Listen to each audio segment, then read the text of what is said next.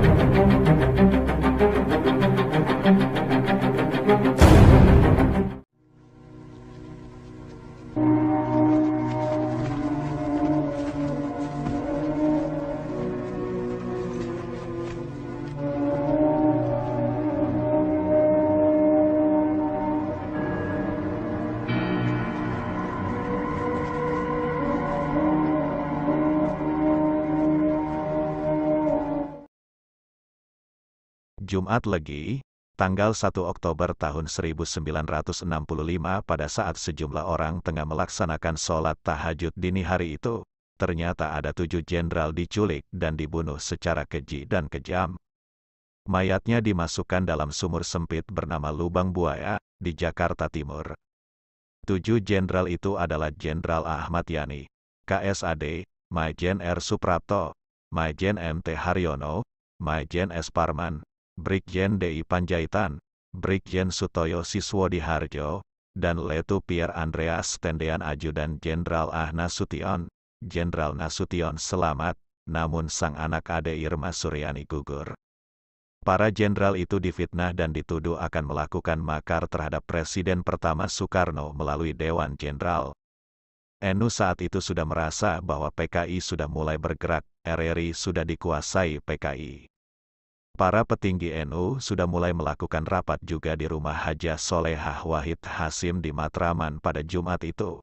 Maka, pada Rabu, tanggal 5 Oktober tahun 1965, PBNU di Jakarta, mengeluarkan resolusi mengutuk Gestapo. Pengurus PBNU antara lain Kiai Haji Maskur, Roy Syuriah PBNU, Ketua 1 PBNU Kiai Haji M. Dahlan, yang memberikan tanda tangan terhadap draft yang dibawa oleh Kiai Haji Yusuf Hashim dari Ansor.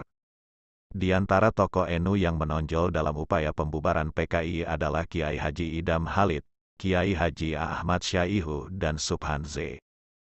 Kiai Idam dibantu Kiai Syaihu dan Subhan bekerja keras agar PKI dibubarkan. Di antara tugasnya adalah Kiai Idam Khalid bertugas selalu mendekati Bung Karno, Syaihu mendekati ormas-ormas Islam untuk bersatu, sedangkan Subhan mendekati elemen lain untuk menyatukan sikap pembubaran PKI dengan tetap patuh pada PJM.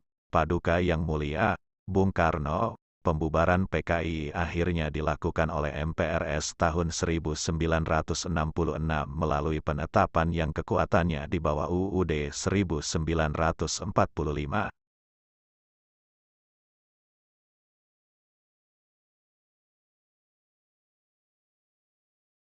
Berikut profil Kiai Haji Idam Holid, Dr. H.C. Kiai Haji Idam Khalid lahir pada tanggal 27 Agustus tahun 1921 di Satu, bagian Tenggara Kalimantan Selatan dan wafat pada tanggal 11 Juli tahun 2010 dimakamkan di Cisarua, Bogor. Ia adalah tokoh bangsa, tokoh agama, tokoh organisasi besar Islam Nahdlatul Ulama, NU, dan juga deklarator sekaligus pemimpin Partai Persatuan Pembangunan, PPP. Bahkan Kiai Haji Idam Halid merupakan ketua Tanfiziyah PBNU terlama dalam sejarah NU dari periode tahun 1956 sampai tahun 1984, sekitar 28 tahun. Selain menjadi pahlawan nasional, pada tanggal 19 Desember tahun 2016, atas jasa-jasanya, pemerintah Republik Indonesia mengabadikan beliau di pecahan uang kertas rupiah baru pecahan Rp5.000. Sikap keras NU menolak PKI bergabung dalam Kabinet 1960 membuat gusar Presiden Soekarno, Bung Karno, maka diundanglah para pimpinan NU seperti Kiai Haji Wahab Hasbullah, Kiai Haji Zainul Arifin, dan Kiai Haji Idam Halid untuk bertemu dengan Soekarno di Istana Negara, sambil menikmati hidangan makanan tradisional pagi. Terjadilah dialog berikut ini. Kenapa, NU, menolak kabinet kaki empat, tanya Bung Karno. Karena banyak kiai NU yang disembelih, PKI, pada waktu peristiwa Madiun, itu belum terlupakan oleh kami. Jawab Kiai Haji Idam Halid yang ditunjuk sebagai juru bicara mewakili pimpinan NU pada pertemuan itu. Kalau kamu belum bisa melupakan bagaimana kita bernegara, komentar Bung Karno. Itulah Pak, saya ini membawa bukan hanya suara saya pribadi, tapi suara semua orang, NU, tegas Kiai Idam. Tuan-tuan ini keras kepala betul, seru Bung Karno. Memang Pak, jikalau PKI ditaruh di bahu, dia akan naik kepala. Itu pengalaman di negara-negara komunis, kembali Kiai Idam menjelaskan. Itu kan di negara lain, kila Bung Karno. Buktinya Pak, sewaktu dimadiunkan, PKI sudah menimbulkan korban banyak di kalangan rakyat, sergah Kiai Idam dengan halus. Ya itu kan lain, nanti saya yang menghadapi kalau mereka berani, memberontak, lagi, kata Bung Karno. Lebih baik PKI jangan diberi angin, kami punya keyakinan suatu saat PKI akan memberontak lagi. Kalau seandainya Enu tidak pantas ikut di kabinet, saya dengan sukarela akan mengundurkan diri, kata Kiai Idam. Gertakan itu mengena juga. Tidak, ini prinsip saya. Kita harus kerja di satu meja, juga harus makan bersama di meja yang sama.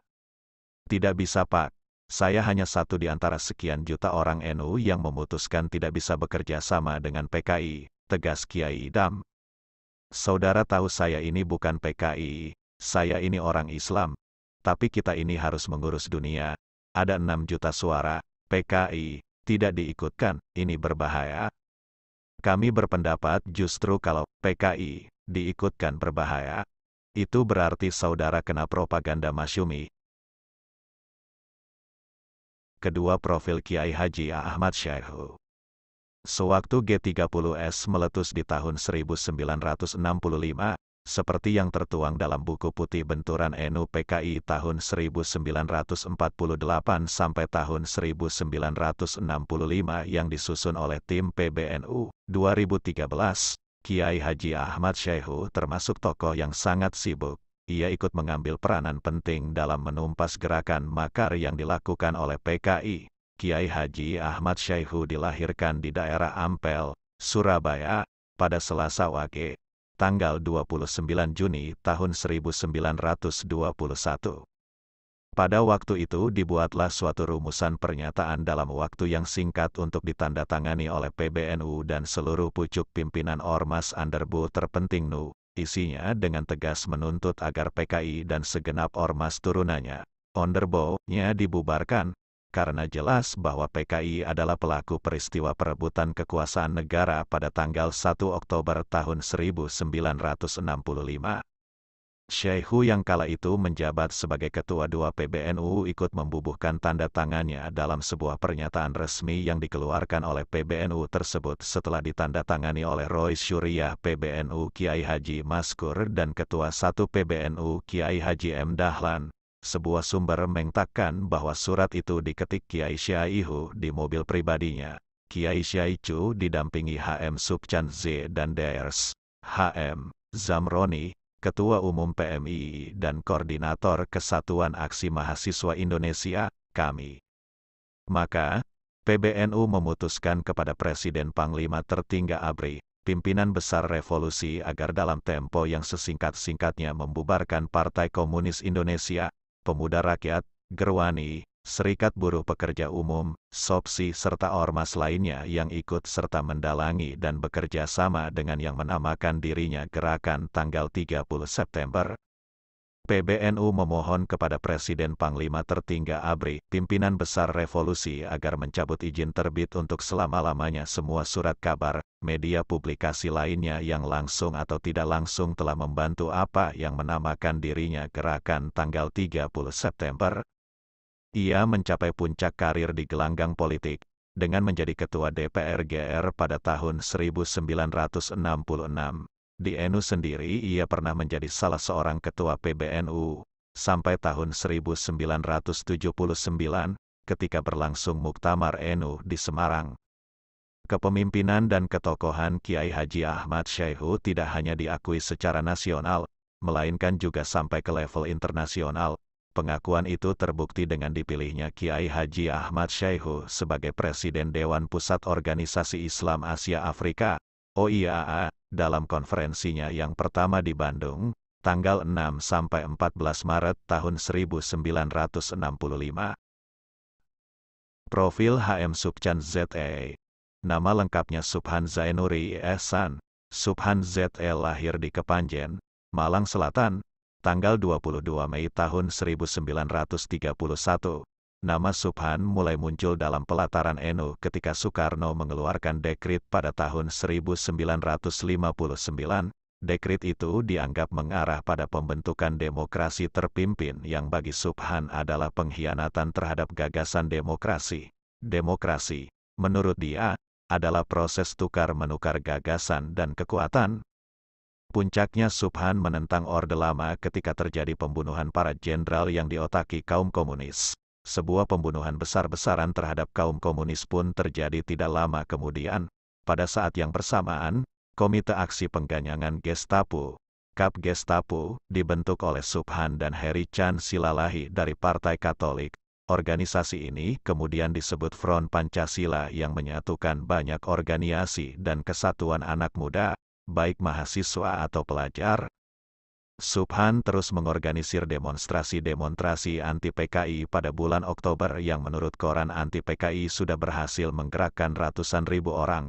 Namun konfrontasi dengan Soekarno baru mulai terjadi bulan November, dengan adanya demonstrasi anti-komunis yang luar biasa besar di lapangan Banteng, Jakarta, slogan-slogan masih memihak Soekarno, namun demonstrasi yang diperkirakan dihadiri 1,5 juta orang itu merupakan sebuah tekanan yang tidak dapat diabaikan.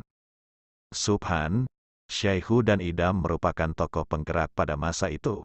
Subhan memang mempunyai peran yang cukup besar dalam peralihan rezim Orde Lama ke Orde Baru. Sesuai surat PBNU, ia paling sengit menuntut Presiden Soekarno untuk segera membubarkan PKI.